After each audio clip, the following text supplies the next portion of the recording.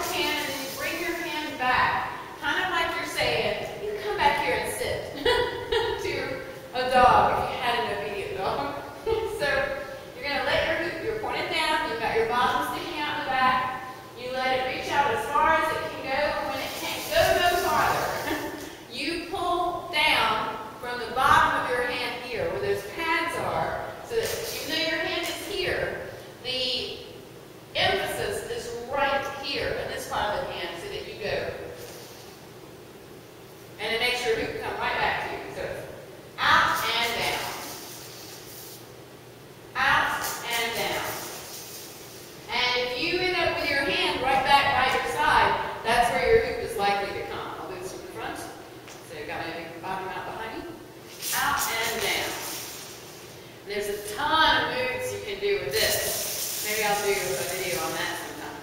And if the hoop comes back to your other side, then use that opportunity to practice doing it on that side. Because you want to be ambidextrous with all things, including this thing.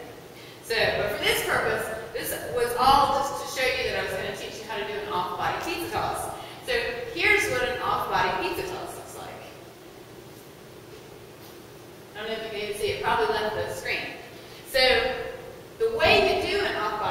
muscles, your your hoop is beside you. You give it that push until it's down, and you've got that bottom that's sticking out. You're going to take your hoop up, and then you're going to make it flat.